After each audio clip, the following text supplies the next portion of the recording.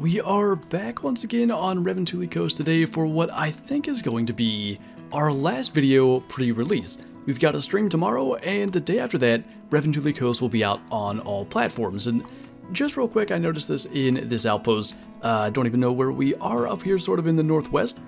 I'm just kind of looking at it as the bearskin uh, rug or bearskin on the wall. Maybe a future trophy lodge thing, just something that caught my eye before we head out. But I want to spend some time in the kind of upland country looking for grouse, ptarmigan, stuff like that, and generally whatever kind of big game we can find. And then towards the end of the hunt, we'll do a little bit of waterfowl hunting. I do want to make one more video, probably sometime early Tuesday, talking about waterfowl setups and how to kind of achieve the best results with that, at least based on what I've seen. So I'd like to at least show a little bit of that in videos. I think all of our waterfowl hunting primarily has been in streams thus far. Now that is pretty cool. I haven't seen a brown bear up here yet. It is a level 7. Got a mountain hare in the background there. Real quick, before we take our shot, we'll just kind of spot that with the Argoscope. Nothing all that special. And we can go ahead and take that brown bear. Just really cool terrain, I think, to get a brown bear in. We got our diamond somewhere down, like, south in the map. Down in this area, I believe. That might be the first time I've seen a brown bear up here at all. And of course, 308's a little underpowered, so he's going to run for a while, but maybe he'll just take us towards some of the uh, ptarmigan and grouse that might be up here. I'm not real sure on the fur type. It might be that red-brown. Got a Caper Cayley flying by. Just a level 2. I actually got that. So birdshot apparently was slowed down with this update. It is the red-brown fur type, by the way. Cool to see that in the harvest screen once again. But anyway, that's that's taken a good bit of getting used to trying to get the lead down on animals, and specifically using birdshot, you know, with pheasants and quail, and of course, past waterfowl, it's something that I think everybody got used to to a degree, and it's taken some kind of relearning, I guess, how to use that again. It was a right lung shot there at 40 meters with three pellets hitting it. Not too bad. I think that's something every time that some kind of bird flushes, I'm trying to make those shots and relearn what sort of lead needs to be put on them. We do have some rock ptarmigan out here. I always forget what is what for their scores, and I'm thinking back to the Hunter Classic and maybe assuming some of the scoring will be similar. Some ptarmigan species, the females seem to get as big as the males, so I'm never sure if we should try to get the males first, just get the highest score estimate first. Eventually that is something that I'm sure we will figure out, but as for now, whatever offers a shot usually we go for. Let's not delete zones. This is a pretty good spot, pretty wide open. We were able to see them pretty easily. So I don't want to shoot more than three and have them moving elsewhere. There are definitely plenty of birds though. Can see another one in the distance. So that's a male at 550. Diamond is 7 to 9, so none of them were all that close. And I think that's what it comes down to. I haven't had, male or female, really close enough to make a judgment as to what I think might be the ones that make diamond. 617, at least that is a gold. And I think we have one more laying right over here. If I'm not mistaken, this was the first one. That was a 613 female. I mean, very similar in the scores thus far. Eventually, like I said, we'll figure it out, but it's going to take some time. I might be mistaken, but I'm pretty sure this is the first time we've seen any female black grouse. We've had a number of males. That one actually has a pretty good estimate. And again, it is only the ptarmigan species that have to be shot out of the air, so we can shoot this with the 22. Gonna require a bit of precision, but should be right about like that. And that'll bring him down. And I did go back to, I don't know if I said this in a video or just on stream, but I did go back to the normal 22 LR ammo. The truncated, as I said last time, I, at the moment, I don't understand the point. The extra penetration doesn't really do anything for you. At least, in my opinion, you want to see the bird or the rabbit or whatever you're shooting go down quickly, and the expansion of the hollow point ammo is better for doing that. I guess maybe in a situation like this, if you can get a broadside shot, you might be able to have the truncated ammo do a little bit better. If you can hit a lung, naturally they are going to go down immediately, so we'll attempt that, or just completely miss it the second time. Worked out as you'd expect, so maybe that is the purpose. But when a lung shot's not required, I don't know, I'm just more likely to want something that with a flesh hit is going to bring them down really, really quickly. I really, because there's no class 1 animal that requires a vital hit, I really don't see right now like why it would matter too much. 112 for that guy, by the way.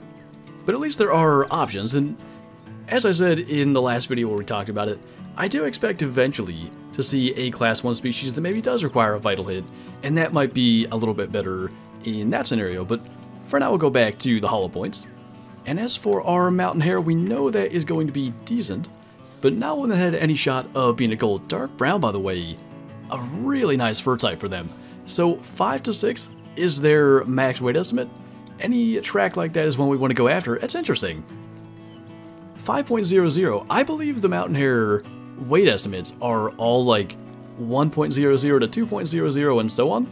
Interesting it was the lower weight estimate and not the higher one. I don't know how that uh, determination is made. Ooh, there we go. Finally. I've been tracking this 4 to 5 kg caper capercaillie for far too long for a bird that I had no idea what level it was, but it looks like that might just pay off. A nice 4 to 5 estimate, got that there with the 22, and I feel like I'm, you know, almost last year. I've seen a half a dozen videos and streams, if not more, in the community with level 3 capercaillies getting shot, and I've been searching and searching and searching, and finally, one of these 4 to 5 kg estimates pays off. I don't know if this came from a, a respawn, maybe an initial spawn that I've been missing, but that is pretty cool. I believe they can troll, based on the estimates that I've seen, so hopefully this guy's not gonna. Actually, sun came out just in time to get a better picture. And let's see, first level 3 capercaillie, first diamond at 4.66. So probably not by much. 4.64 is diamond, they are scored by their weight, not like turkeys where there's a combination of factors. In theory, his trophy rating should be roughly 4.66. They're never exactly their weight, which is kind of odd, but pretty cool. Our first diamond of the day is a capercaillie worth the time to head up into to the upland area of the map. What a cool looking bird, and you know, I, I feel like I've talked on and on about the harvest screen, but it just makes for so much better screenshots now with the coloration and how much better it looks. Maybe we can use one of those in a thumbnail or who knows what, but that's pretty cool. That, we shot a bright female capercaillie. We now have a diamond male. I don't know what all the different plumage types are, but one more female, and maybe if we just stumble into one, we'll shoot it just for the heck of it. We can make the capercaillie multi-mount. I think of all the upland bird models, hazel grouse might be my favorite, and I've been super determined to try to get a diamond one of them. And I think they might be the only bird we don't have a even max weight estimate one of yet, but the coloration, the different varieties, gray might be my new favorite. They're just really nice looking birds, but diamond is 435. I gotta think you need an estimate of like up to 0.45 kg, and we had one 0.38 to 0.41 earlier, but even that wouldn't be enough, so eventually, hopefully, we can find one of them, and I assume that will only be achieved by shooting a bunch of males and getting respawns, but at this point, having gotten the Diamond Capercaillie, I want to go back up here. We were getting pretty far south. That is a max estimate black grouse, by the way. But uh, I was getting ready to go waterfowl hunt, more or less. But now I want to get one more female for the multi-mount, and best I can figure up here's one of the better areas. There we go. That's not too bad. Not big enough still. Hitting it would be nice. But that's easily the best estimate hazel grouse we've seen. Dark plumage type, 398. Almost cracked that 400 barrier. The weight, in theory, is right there to do it, but again, the dark plumage type, this is the one that I like the most prior to seeing that gray. They all just look really good, but a nice gold there. Still no female capercaillies, by the way. A couple of males have been around here. Man, it's not a bird, but a legendary lynx. We had a Melanistic gold out here already, now we have a 27 to 30 estimate level 9 and just sitting there perfect. I think we might be able to make a heart shot there. Need to go right kind of center of the chest. Certainly not a heart, but lungs that will do the trick. We just kind of rearranged our lodge in terms of the lynx, and the idea of making the Capercaillie multi-mount has me kind of questioning what we're going to do there, because I think that multi-mount goes on a similar platform, and then a level 9 link shows up. It's been insane. The amount of stuff that keeps on showing up here. And still, by the way, no female Capercaillies. We saw a bunch on the way down, kept on ignoring them. Obviously looking for a male, looking for a level 3. As I said, I felt like I was about the last to get one. Now we got that and a level 9 Lynx, so good estimate. Definitely got the vital hit in there, even though we didn't get the heart. And a 28.4.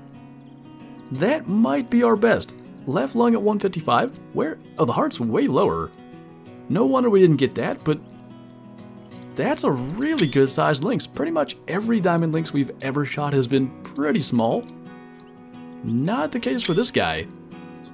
Revontuli Coast has just been unreal so far. Not only for the new species, we got the Diamond Capercaillie, we got a Diamond Eurasian Teal on Friday's stream, I guess that would have been. But also the old species, Diamond Brown Bear, Diamond Whitetail on Friday's stream, now a Diamond Lynx and a big one at that. It's amazing what we've encountered. So finally, a female Western Capercaillie. I don't too much care what plumage type it ends up being. Just wanted to get one down so we can make that multi-mount. It might be something a little bit different. I don't immediately recognize that. It is the ochre plumage type, so I'm unsure how rare or uncommon this might be. I don't know if they can even make a silver. They might be able to, but I don't think I've shot one of these yet, so that'll do really well to make our multi-mount. And I think on that note, especially since we spent more time up here than intended, we'll jump down and do some waterfowl hunting. And as per usual, it does not take long to get ducks coming into a setup. So we're at a tufted duck and goldeneye setup. Neither of those ducks has a specific color, and I really don't know if this works or not, but what I've done for any duck species that doesn't have their own color is use the Beacon Deluxe duck color from the original Duck and Cover DLC. It seems to bring them in. Honestly, I have no idea they might just be coming into the decoys, but at least it kind of gives you something to do as you wait for them to circle. So we experimented a bit with the 12 gauge and the red dot sight. Let's have Sir 12 kind of lay down. Not sure how big a difference that makes, but in theory it should help at least a little bit. And as these guys are getting ready to land, we'll go ahead and take what we can get. Now, all the duck species, because they have different characteristics, have different speeds as they fly away, and that can take a little bit of getting used to. I think maybe the best thing would be to stay kind of consistent in the species you hunt, so that you can be used to the speeds that they take off. When we shot the Diamond Eurasian Teal on stream on Friday, I was not prepared for how fast it was. They are, I think, the smallest duck species in the game at this point, and unsurprisingly, that means they are quite fast, but as for the tufted duck and goldeneye, a little bit slower, still tough to hit when you're not practiced up, but this particular spot is pretty shallow, so it usually requires you to get out and claim them. Got a female there, and a gray female goldeneye. Have we got a gray yet? I'm not sure. It is cool that the females can make gold as well, but I don't think that's particularly special, getting a, a female gold, so I'm gonna assume gray is not that rare, and kinda just keep on hunting. And this time, at least, I would like to try to get some of the tufted ducks. We do have some circling around, but keeping track of what's what and like where males versus females are when there are so many ducks is really tough. Got Goldeneye coming down to land here. Eventually, if we can spot tufted ducks, now they're coming to land, we'll try to get a couple of them. Now, the mistake I can clearly see is that I did not reload the shotgun. I'm so bad at that. Whether it's goose hunting, duck hunting, I know we got a double there or something, but definitely could have had more if we were a little more prepared. There's a 22 hit on a tufted duck as well. But we'll jump out and grab those, kind of see what we got, and go from there. We did get two here. A male black plumage type Tufted Duck, I really like that. A really cool model, I think they did well replicating that. And a female Tufted Duck as well. So this time with the shotgun properly loaded, we're going to let the first couple land, basically because that's going to allow some that are close to take off a little bit delayed. We should be able to get more because of that. That is assuming that we shoot any halfway decent, but got at least three I think unfortunately we kind of chose the wrong one, shot a couple of females as they took off, but the numbers were solid on that one. And by the way, I generally don't hunt with a red dot sight. We'll kind of see how things go with that.